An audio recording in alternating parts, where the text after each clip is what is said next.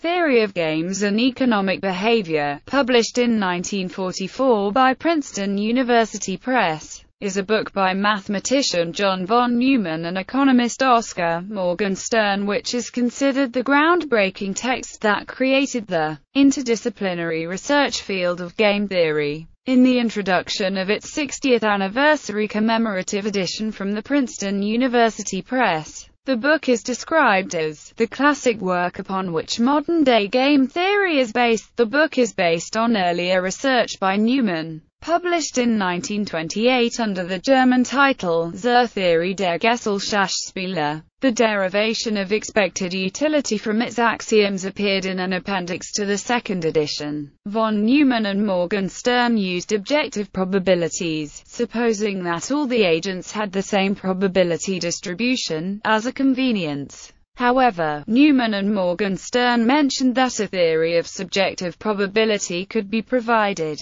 and this task was completed by Jimmie Savage in 1954 and Johann Pfanzagl in 1967. Savage extended von Neumann and Morgenstern's axioms of rational preferences to endogenize probability and make it subjective. He then used Bayes' theorem to update these subject probabilities in light of new information, thus linking rational choice and inference.